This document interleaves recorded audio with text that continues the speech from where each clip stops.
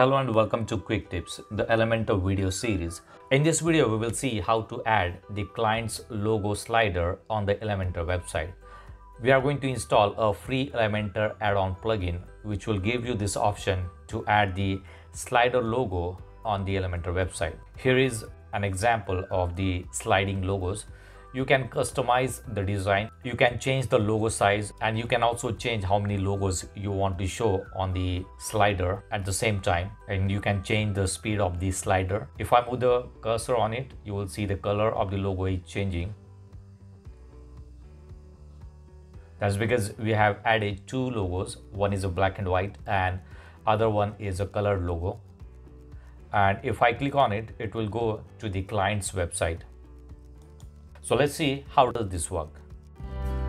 Do not forget to subscribe to Quick Tips YouTube channel. Watch new videos about website design, e-commerce websites, search engine optimization, social media marketing, WordPress tutorials, video editing tips and many more. Press the bell icon to get instant notification whenever we publish new videos. So I'm logged into the dashboard of the WordPress website and on this website uh, we are using Elementor Page Builder. First of all, we are going to install a free plugin that will give us an option to add the client's logo slider on the Elementor website. So let's go to the plugins and then go to add new. Now here search for Elements Kit Lite. So you need to search for Elements Kit Lite and here you will see the option Elements Kit Elementor add-on. This is basically an add-on plugin for Elementor Page Builder. I have it already installed. That's why it shows update now. If you do not have it installed it will show you to install it. And once installed you will need to activate the plugin. So I have this plugin already installed and activated. Now let's go to the demo page. And on this page we are going to add the client logo. So I have one section here. So let me delete this one now create a new section that will be full width section. Add padding to the top and to the bottom. So we have got the full width section here. Click on the plus sign and search for logo.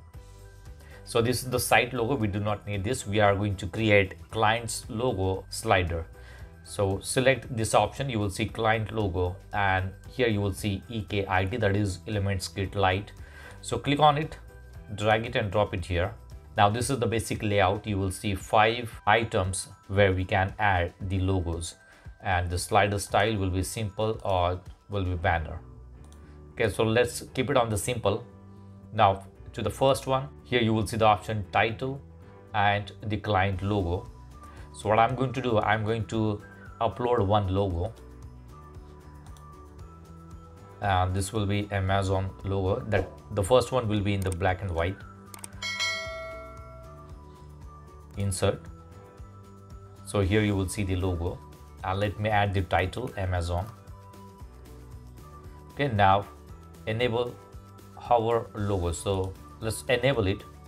And whenever someone hovers on the logo it will show another logo.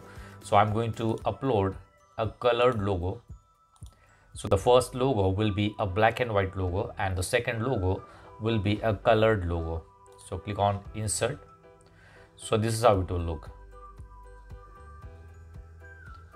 Okay so we have got the name and two logos one black and white and one colored. Now if you want to enable link then you can enable the link and put the link here. I'm going to add let's say amazon.com so if someone clicks on it it will go to the amazon website. You can set the option open in new window so that they will not leave your website. So this is the first logo. Let me add the second logo here. So first we are going to add the black and white. That will be elementor. Name will be elementor. Enable the hover logo and upload the second logo. That will be colored logo. And i'm not going to enable the link. Leave it as it is let's go to the third one. Upload the black and white logo. It will be google. Enable the hover logo and upload the colored one. I'm not going to enable the link. Let's add the title Google. Now let me add the third and fourth.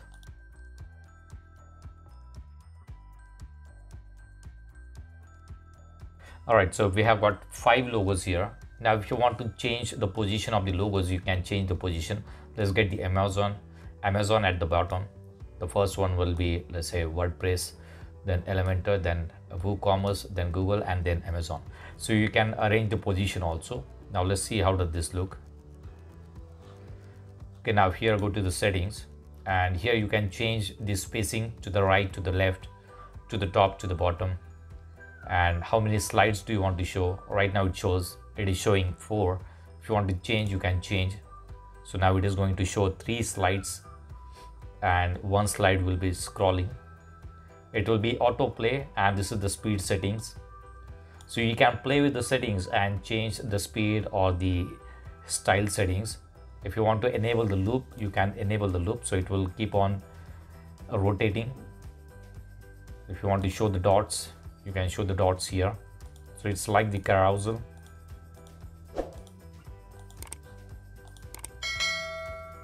so one row two rows. So it will show two rows. So i'm going to select one row only. So these are the basic settings. Now let's go to the style settings. Now if you want to change the background color you can change the background color. Now these are the padding settings. If i enable the padding you will see the padding here. Margin minimum height. You can set the minimum height also. Now this is for the logo. And this is for the logo background so here you will see the logo background.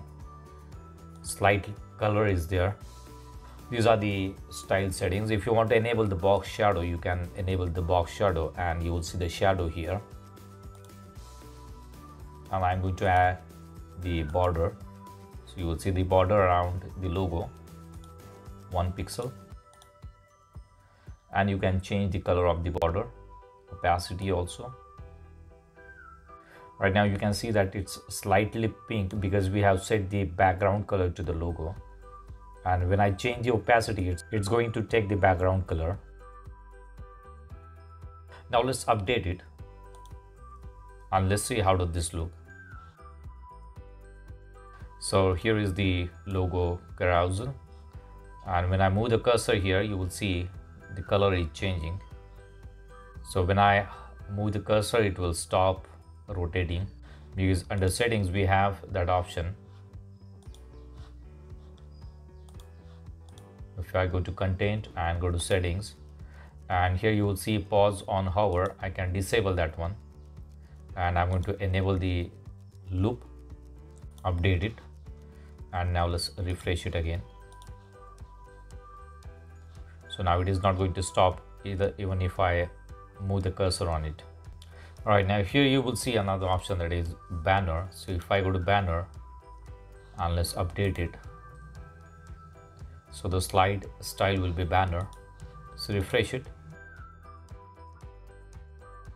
so I'm not seeing any much difference between these two options so this is pretty simple logo slider widget that you can use on your website to show the logos of your partner or clients on your website. So that's it for now. See you in the next video.